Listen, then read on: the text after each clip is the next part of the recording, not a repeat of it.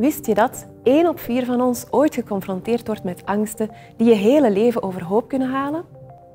Sommige mensen kunnen amper hun huis verlaten omdat ze zo angstig zijn, doodongerust dat er hen iets ergs gaat overkomen. Dat ze een paniekaanval gaan krijgen in de supermarkt of dat ze gaan herinnerd worden aan een trauma dat ze jaren geleden hebben meegemaakt. Deze mensen hebben een angststoornis.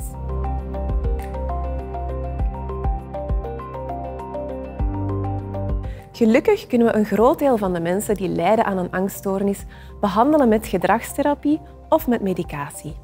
Maar spijtig genoeg blijven sommigen het heel moeilijk hebben en dat zijn de mensen die wij willen helpen. Wij onderzoeken dus bij ratten en bij patiënten wat er gebeurt in de hersenen wanneer we angstig zijn. En we hebben gezien dat een specifiek deel van de hersenen cruciaal lijkt te zijn voor die ongewenste angsten. Om dat deel van de hersenen te kunnen bereiken, maken we gebruik van een methode die diepe hersenstimulatie heet. Diepe hersenstimulatie laat ons toe om heel precies in te grijpen op dat deel van de hersenen dat ziek is.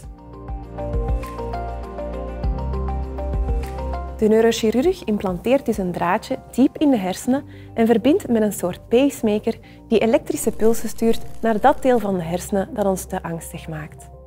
Onze resultaten in het laboratorium en in klinische studies tonen duidelijk aan dat we op deze manier de angst kunnen verlichten.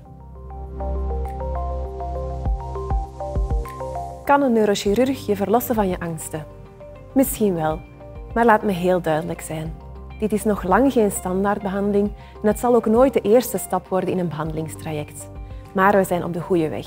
En hoe beter we onderzoeken hoe we die extreme angsten optimaal kunnen verminderen, hoe groter de kans dat onze patiënten in de toekomst terug een normaal en gelukkig leven kunnen leiden.